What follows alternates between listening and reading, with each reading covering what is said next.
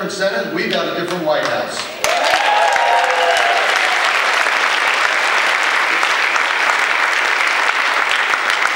Now, it was a historic election, but just because the election happened didn't mean we had a chance to just rest on our laurels. Just in the past six months, so much has happened.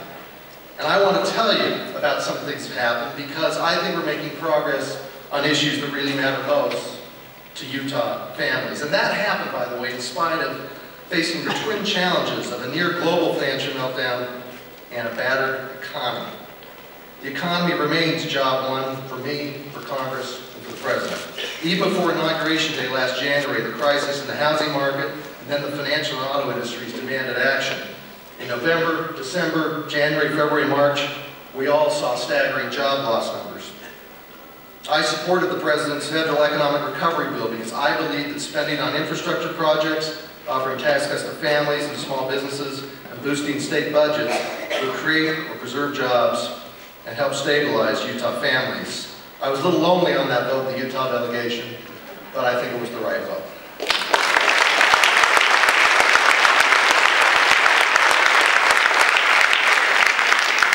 While it is clear that our economy is still hurting, I see signs of. I'm convinced this fiscal policy helped cushion the blow and prevent a deeper recession. You know, losing one's home or losing one's job can be a horrible experience.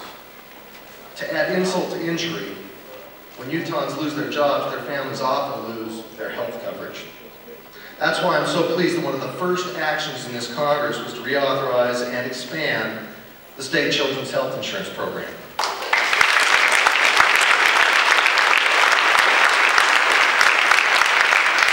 Straightforward that caring for kids is the right thing to do, but um, and this successful program will now help even more low-income children. Working parents provide health insurance to their children, 10 million of them nationwide. You know, twice the previous White House blocked this action. So again, what a difference a year makes.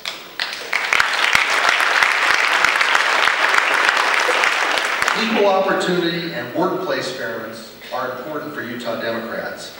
I voted for and President Obama signed the Paycheck Fairness Act. It requires employers to show that wage gaps between men and women doing the same work are truly a result of factors other than gender.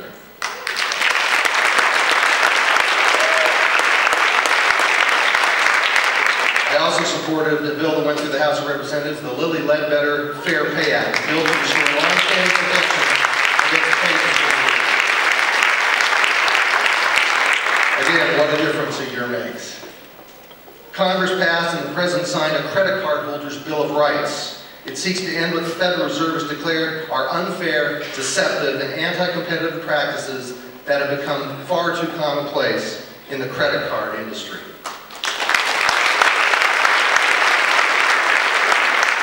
Doing business in a fair and even-handed manner, that's the American way. We all want the market to work better and to ensure that card issuers compete for customers on a more level playing field. And there's more.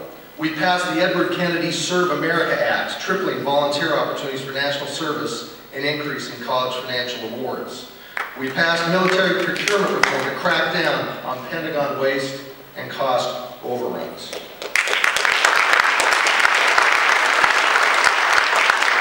We've increased funding for veterans' health care and helped military families harmed by the housing crisis. The House of Representatives has authorized grants that will put another 50,000 cops on the beat. And the House has approved the Green School Modernization Act to provide critical investments to renovate schools and improve the school's energy efficiency.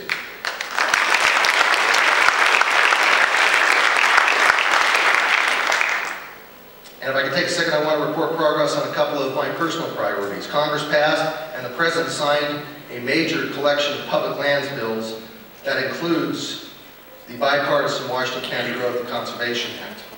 The logjam that prevented us from bringing stakeholders together to address the creation of wilderness in Utah has finally been broken.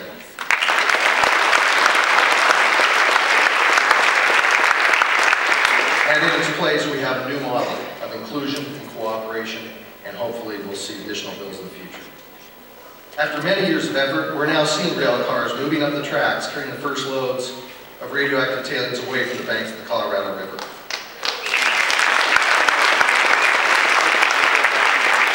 For 25 years, it threatened Moab's health and safety and the safety of millions of water users downstream.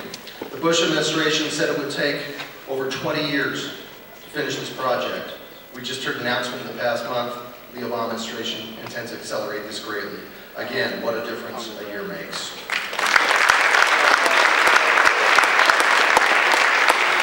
We have 80 bipartisan co-sponsors who signed onto my bill to ban the ludicrous proposal to bring in the world's radioactive waste to one of the few disposal sites we have for America's radioactive waste.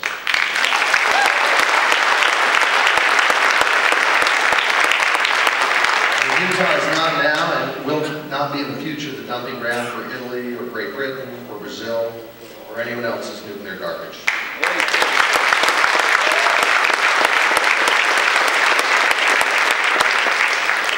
For all I've said, for all the accomplishments in this first few months, for all the difference a year makes, we know the agenda ahead of us is ambitious. But I am optimistic. I believe we will come out of the current circumstance and we will see better days ahead. However, with so many complicated and serious issues facing us, such as energy independence and healthcare reform, we cannot meet these challenges with simplistic slogans or by parroting talk radio or cable news. I know the Utah Democrats are the party of good ideas, and we need to work harder than ever to put those good ideas to work on behalf of Utahns. This year, as in past years, we need to act in the best interest us. I've told you many times, I speak in front of lots of groups and say this, elections really matter. It matters who's in office, they make decisions that affect our lives in so many ways. And an important election is taking place here today. And that is why I'm supporting my friend Wayne Holland for Utah Democratic.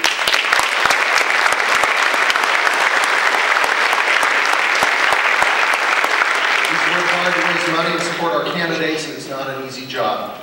There's no question that we live in a state where having a D after your name on the ballot, it could stand for Democrat, but it also could stand for being disadvantaged in the election. Uh, but Wayne has persevered, and you have persevered. In fact, we have all persevered, and we all understand that our long-term success requires a long-term deliberate effort. And giving folks the chance to see how we pursue a positive agenda that helps families to achieve their dreams of a better future. You know, I'm in this business for this purpose of serving the public and for making progress and getting things done. And when I get an election, I get an election to win. That's what is the best part of election. Utah Democrats don't get to experience that enough, but I'm here to tell you, winning is better than losing.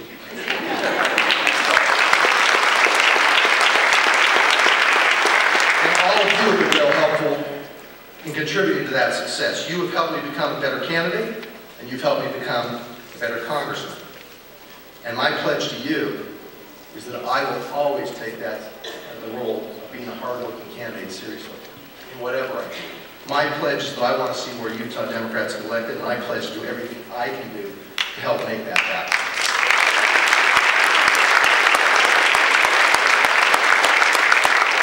I said what a difference a year makes. Let's be committed to see how much more difference we can make in the next election. Thank you very much.